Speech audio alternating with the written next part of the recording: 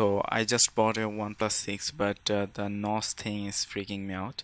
Uh, there is a way to hide the notch but uh, it actually does not hide it. As you can see on the Facebook app it shows the notch and uh, and on YouTube app also. I'm just showing uh, this demo. So first go to settings and click on uh, display from there and open it. Then go to notch display and uh, select hide the notch area. And go back and uh, as you can see the notch is hidden now. And uh, when you go to menu the menu uh, the notch becomes a bezel actually and the wallpaper also cuts. So that's not a good idea. So we're going to fix it on this video. So first uh, go to uh, go to the settings again and go to display and uh, go to theme and from there select uh, dark mode. And it will change the theme to dark mode.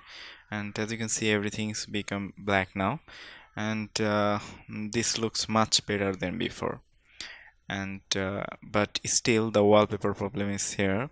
Uh, it does not blend with the um, bezel to to fix that uh, open uh, Adobe Photoshop and your uh, selected wallpaper and uh, create uh, a solid color.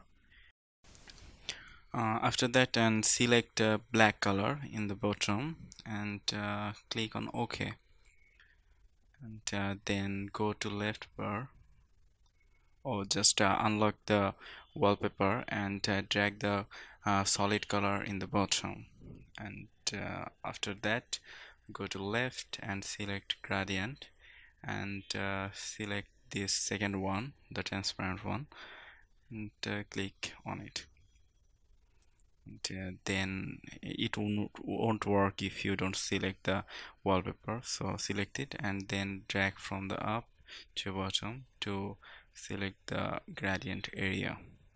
And uh, do as you want and uh, that's it you can see it's uh, black now from the upper. And uh, then save the file in png or jpeg format. And just save it now. Then transfer it. Also if you don't want to do all those things i will be leaving a link to download this wallpaper that i edited. And uh, here is the uh, wallpaper demo. And set the wallpaper now. And uh, select it and uh, go to back.